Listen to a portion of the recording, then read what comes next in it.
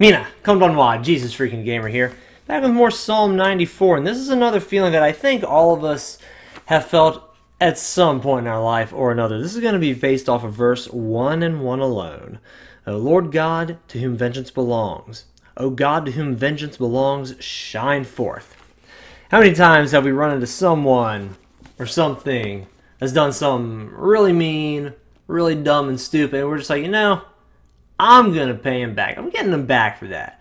You know, you, you, you plot your little thing, you make your plans, and sometimes you get him back. Sometimes it blows up in your face, and you look like an even bigger doof than you did before. And then there are the serious times when someone legitimately hurts you and someone you love. And it's at times like that where, again, we still want re- revenge. We still want to take, we still want to make sure that justice is done. We want to make sure that you know the right the right person is left standing in the end, and everyone knows how right we are.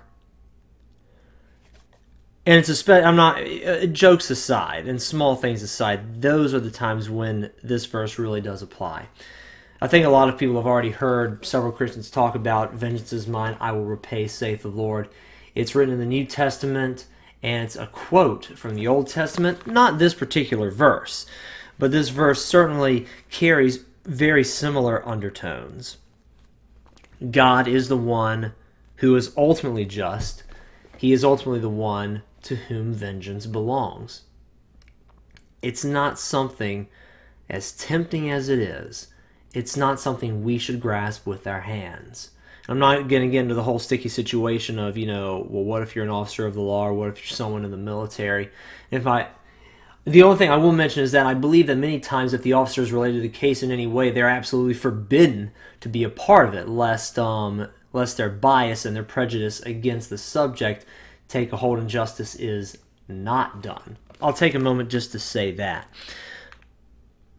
But for but for the rest of us, I would like to say vengeance doesn't belong to us. It, it's not our place to make sure someone pays or someone's hurt.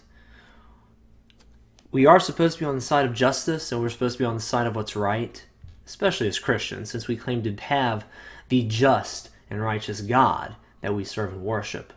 But when it comes to claiming vengeance, when it comes to carrying out revenge, I would suggest, based on the Word of God, leave those plans on the table and rather submit them to the Lord and say, not to say, God, is this plan going to work? Is this good? Can I hurt this person this way? Can I get them back for what they did? Will you help me with this, God? This is a great plan. not what I meant.